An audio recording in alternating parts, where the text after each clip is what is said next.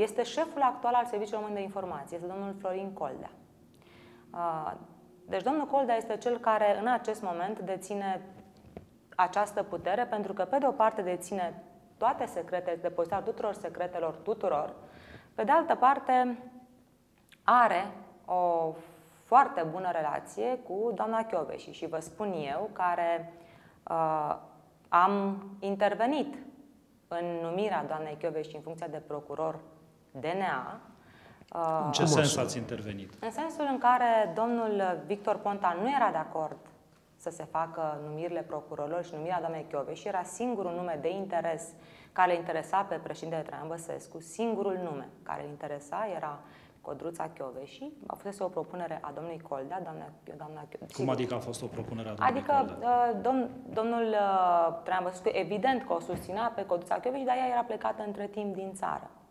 Era la Bruxelles trimisă da, da, a guvernului. Da. Cel care a propus revenirea dânsei a fost uh, domnul Coldea. De unde Dar știți? Ce, în de unde ce știți? Context? Stați puțin, de unde da. a scos informația asta? Cine v-a spus asta? La acel moment, această discuție, dar încă o dată spun, a fost un nume pe care și-l dorea și președintele foarte mult, dar ideea ca dânsa să se întoarcă de acolo a venit de la Florin Coldea. Pe Adineaur a spus că dumneavoastră ați... Nu, ascultați-mă, nu, am spus că eu am fost cea care a, ați intervenit, a discutat așa ați spus. cu domnul Victor Ponta numirea doamnei Codruța Chioveși. Deci la... Păi stați puțin, ori Traian Băsescu a susținut-o, ori Traian dumneavoastră, Băsescu. ori Florian Col, dacă nu se mai înțelege nimic în clipa asta. Uh, am spus că numele, propunerea ca dânsa să se întoarcă de la uh, Bruxelles a venit de la domnul Colda. Traian Băsescu și-a dorit foarte mult ca, virgulă, Codruța și să fie procuror DNA. Uh, dar Victor Ponta nu dorea acest lucru. Dar cine v-a spus toate astea? Păi faptul că Victor Ponta nu dorea era evident și știam de la președinte, dar era evident pentru că spunea pe toate părțile că nu dorește.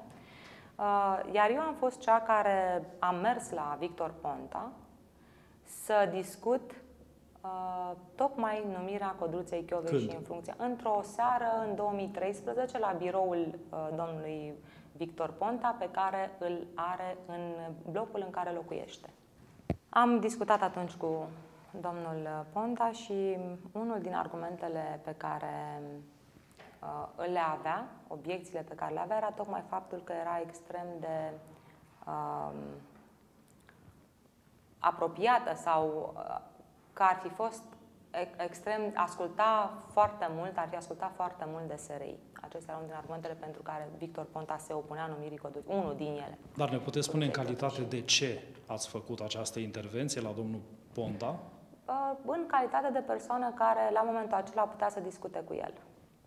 Ceea ce n-ar fi făcut, spre exemplu, uh, nici președintele care nu ar fi discutat. V-a cerut președintele, v-a rugat să faceți aceste diligențe, această discuție cu Victor uh, Ponta nu, sau a fost nu, inițiativă nu, proprie? a fost inițiativa mea. A fost inițiativa Dar de unde știați despre discuțiile de la din discuțiile președintelui, din ce era public, era un conflict, nu se mai numeau procurorii, Uh, iar Traian Băsescu nu vrea să renunțe la Codruța și sub nicio formă, aici era cuiul pe pelea, dacă vă amintiți. Uh, și uh, în acest context mi-am asumat să discut eu cu Victor Ponta ați discutat și de blocarea situației. Ați discutat, o scurtă paranteză, ați discutat cu Victor Ponta și cu Traian Băsescu în acel context și despre Alina Bica nu, la DICOT? propunerea Alina Bica nu era atât de importantă, era o propunere pe listă. Mai important era procurorul general atunci. Însă, așa cum a spus și președintele, față de uh, dorința de a avea-o pe Codruța și la DNA, uh, procurorul general a fost cel pe care l-a propus, pentru că asta spune legea. Deci este printr-o negociere și o înțelegere între, între președinte și prim-ministru. Și atunci procurorul general a fost numit domnul care este și astăzi, nu îi rețin numele. Revin puțin la episodul întâlnirii cu premierul Victor Ponta, dacă el a avut uh, loc. În 2013 a da. spus. Păi Când nu s-a erați, făcut numirea, nu știu. Când dar nu erați inamici pe vremea aia în opoziție, că am uh, văzut niște schimburi de replici extrem de dure. Păi, eu sunt chiar cea care chiar a făcut opoziție. Adică Cum, domnul întâlnindu-vă Iohannis, cu Victor Ponta. Da, nu are legătură. Faptul că eu mă cunosc cu dumneavoastră, dacă ies de aici și spun ceea ce crezi pe dumneavoastră și spun sincer, nu are legătură lucrul acesta. Adică eu pot să cred niște lucruri despre un om și în același timp, legat de alt subiect, să stau de vorbă cu el. Dar a spus că erați printre puținii oameni care avea acces din la Victor lui Traian Ponta. Din, apro... din Iarăși, în virtutea căror relații? Faptul că a fost avocatul lumea... dumneavoastră la nu, firme? Nu, sau avocatul meu v-am mai spus și este minor subiectul față de ce se întâmplă, credeți-mă. Avocatul meu nu a fost niciodată, dacă a fost avocatul uh, lui uh, Dorin Cocoș, Sigur, părerea mea v-am mai spus, cred că și-a un avocat prost. Victor Ponta, mi-aduc bine aminte, a declarat public că numirea Laurei Codruța și a fost propunerea lui. Este o declarație publică dată într-un interviu pentru evenimentul zilei, dacă nu mă înșera cu vreo jumătate de an. A fost propunerea lui după ce a primit-o de la Traian Băsescu. El și-a asumat toate propunerile. Eu vă spun cum stau lucrurile și vă spun care, care era argumentul pentru care, principalul pentru care nu vroia Ori de la Traian Băsescu, era... ori de la Florian Coldea. Păi, Iarăși oficial, va trebui să vă hotărâți. Of, nu, eu cred că am lămurit-o. Nu, Oficial, deloc. propunerea a făcut-o președintele României pentru că, în mod constituțional, numirea procurorilor se face între președinte și premier. Asta este legea astăzi.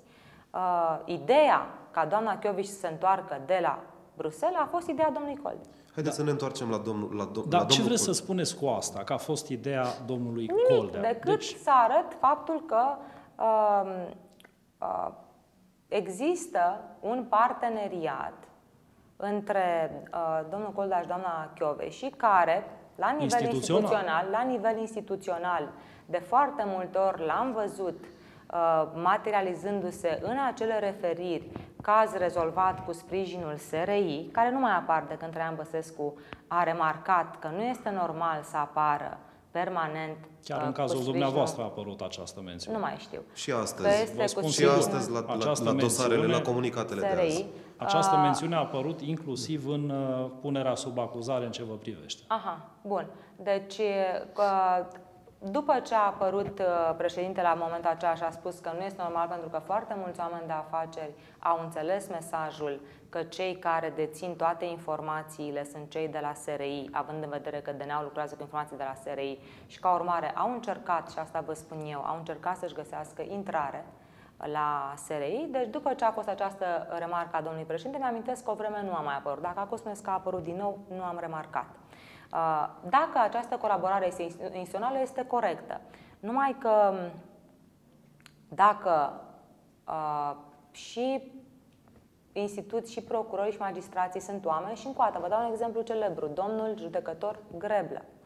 Uh, și vă spun că este evident că atunci când cei de la SRI dețin informațiile, informații despre toți, inclusiv despre judecători și procurori, dacă relația dintre SRI și procurori este una prin care la o adică SRI-ul poate face presiuni într-un fel sau un altul asupra magistraților, atunci iarăși avem de-a face cu un abuz. Acuzația